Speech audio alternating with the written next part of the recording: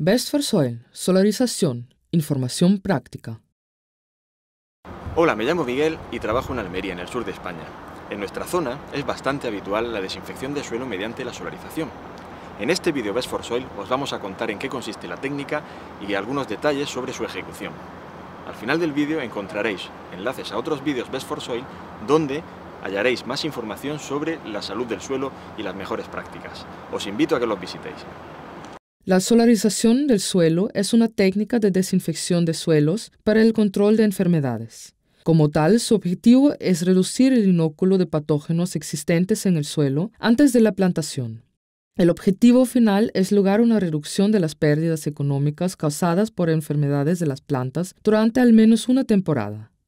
La solarización del suelo consiste en cubrir el suelo una vez que ha sido suficientemente humedecido con un polietileno transparente y fino o con una lámina plástica específica durante un mínimo de cuatro semanas en el periodo del año en que las temperaturas y la radiación solar son más elevadas.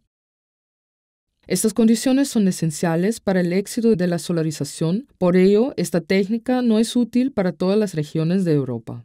La solarización puede funcionar bien en zonas con clima mediterráneo, donde se dan veranos soleados y calurosos, siendo el periodo de junio a agosto el mejor periodo para realizar una buena solarización.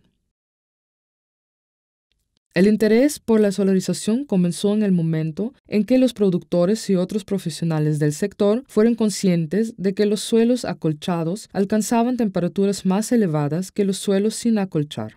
Entonces se preguntaban si este aumento de la temperatura podría ser suficiente para controlar los patógenos existentes en el suelo, en particular en los suelos cultivados intensivamente. Con ese objetivo se diseñaron condiciones cercanas a la pasteurización, humedeciendo las capas superiores del suelo y calentándolo con la radiación del sol.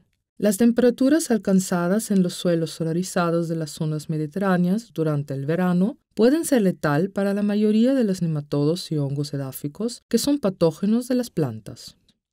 Normalmente, a 20 centímetros de profundidad, que es la profundidad a la que viven la mayoría de los patógenos, se alcanzan temperaturas máximas superiores a 45 grados Celsius. De forma que, a través de la inactivación térmica de los patógenos, esta técnica puede reducir el nivel de inóculo en los suelos. El efecto térmico letal de la solarización puede combinarse con la adición de enmiendas orgánicas.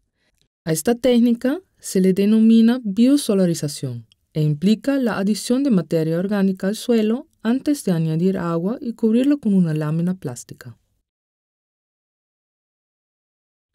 La biosolarización combina los beneficios de la solarización de biocompuestos que son letales para los patógenos, el aumento de las comunidades microbianas no patógenas, así como otras mejoras relacionadas con la salud y la fertilidad del suelo.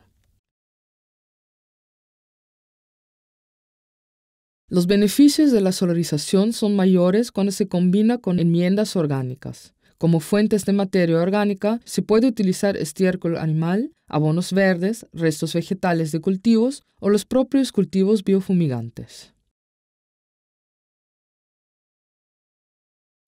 Existen muchos ejemplos de control eficaz de patógenos edáficos mediante la biosolarización y la solarización.